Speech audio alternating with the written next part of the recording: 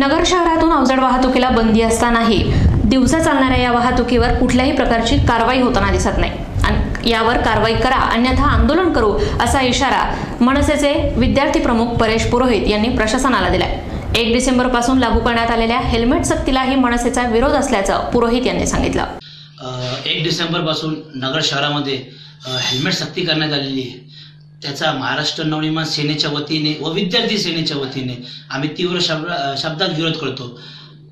नगर शहरामध्ये ग्रामीण भागातून येणाऱ्या लोकांचा खूप मोठ्या भाग आहे.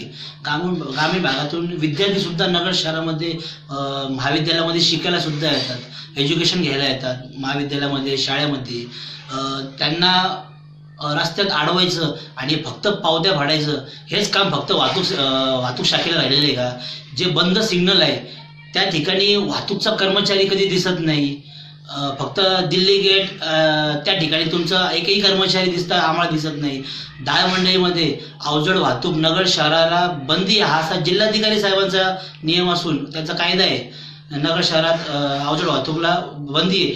त्या ठिकाणी तुमची कोणतीही अंमलबजावणी नाही आहे मग त्याला एक हे दिलं जातं कारण दिलं जातं की अ, बाह्य वळण रस्ता नीट नाही तो महानगरपालिका आणि पी डब्ल्यू डी यांचं काम आहे ना. तुमच्या हातात काय आहे वाहतूक प्रशासनाच्या वाहतूक शाखेच्या? की नगरमध्ये अवजड वाहतूक येता कामा नये. गेल्या वर्षभराचा अहवाल पाहिला.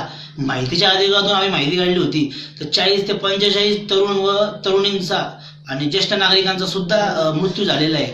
या निष्पाप लोकांच्या बळीचा जबाबदार कोण आहे? याची लोक कधी विचार करणार? महाराष्ट्र निर्माण सेने सेनेचा आणि विद्यार्थी सेनेचा सर्व नगरांना एक नम्रपणे एक आवाहन करतो की त्यांनी रस्त्यावर उतरून या हेल्मेट सक्तीचा विरोध करा. हेल्मेट सक्ती ही चांगली सुप्रीम कोर्टाचा निर्णय. सुप्रीम कोर्टाचा निर्णयाचा आम्ही सर्व आदरच करतो.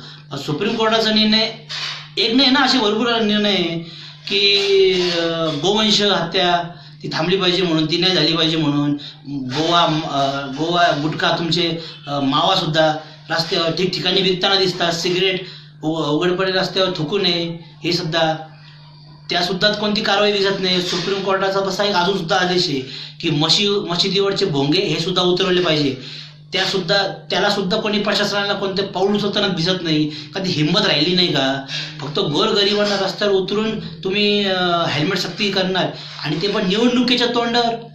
हे सगळं भाजपाचं ष- षडयंत्र दिसतंय. कारण का भाजप पूर्ण प्रशासनावर यंत्रणा आणण्याचा प्रयत्न करते. हे एकदम चुकीची गोष्ट आहे.